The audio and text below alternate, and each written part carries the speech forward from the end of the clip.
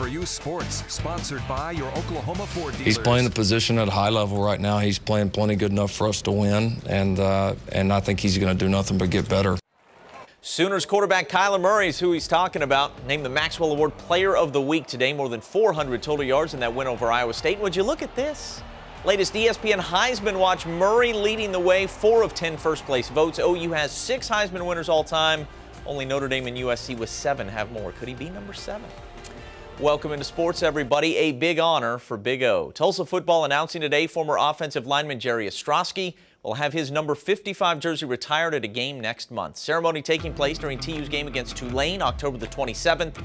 Ostroski, who went on to play eight years in the NFL with the Buffalo Bills, a three-year starter and first-team All-American for the Golden Hurricane back in the early 1990s, now hosts a radio show on the Sports Animal here in Tulsa.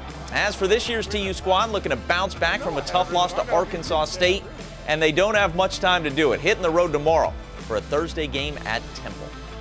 The most important part of that is just guys trying to bounce back body-wise after a tough physical ball game on Saturday to turn around, get on a plane, and you know try to get your body back ready to play again on Thursday. So uh, it's difficult to do physically and mentally. If you're trying to find the, the bright spot in it, you're going to get back on the field again and, and get a chance to get this taste out of your mouth.